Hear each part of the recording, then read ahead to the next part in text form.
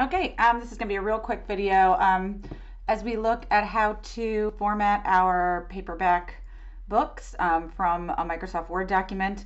Uh, if you just started writing in Word whenever you started writing your book and you didn't change any settings, uh, you are probably stuck in letter size. Um, so you can look real quick up at here, your layout, that's letter. So the first thing we want to do is go down here to paper sizes and we're going to choose 6 by 9 which is a very standard trim size. But one important thing we want to do right here, make sure this says whole document. If you just, if you don't change that, it'll change a, only a section of your book. Um, and that is a very common error that I have seen uh, when I'm taking on freelance jobs is people say, my document won't, Amazon keeps rejecting it. I don't know why. And it's because one section of their book is six by nine and one section is letter or five by eight or something else. So we want the whole document to be six by nine. We'll go into margins in a little bit, but for a six by nine book, these are pretty good. Um, 0.875 on the inside and 0.75 on the outside. And again, mirror margins here, which gives us facing pages and apply to whole document. Um, and we can just do that and we already have a much nicer looking book. Uh, but the next thing we wanted to look at is our font choice. Microsoft defaults to Calibri, uh, which is not something you want to publish a book in. Most books are going to be in a serif font. So we can go to home here, put our cursor somewhere in one of our paragraphs, and you should have done this formatting uh, if you followed the instructions to publish on Kindle, so that that's a heading, uh, that's a subheading. If you don't see this styles box, you can just hit this little arrow here and it'll pop it out. Uh, so if we put our cursor into one of our paragraphs, it should default to normal if you've just been writing in Word.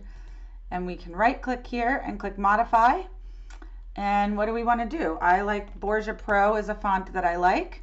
And we see it set to 12. You can also do 11 and a half. You can go down to 11 if your book is pretty long. Um, and then we want to go to paragraph here.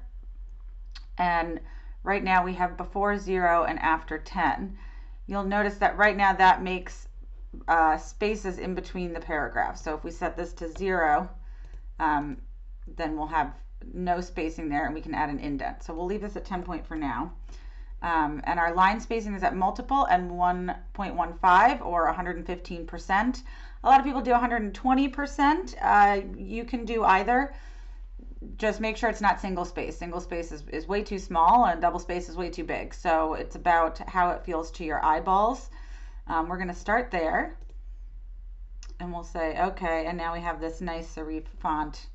Um, that looks much better.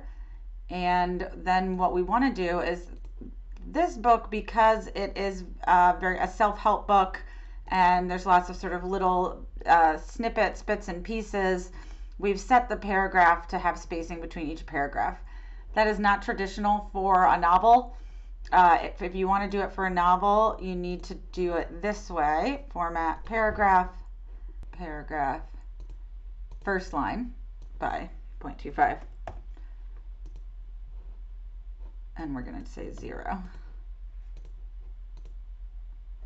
So this is more how, as you can see, how a typical novel is um, is done in terms of indentation. You can do it a little bigger than that as well but I'm not doing that for this book because I don't think it fits as well when it's so full of bullet points and everything else.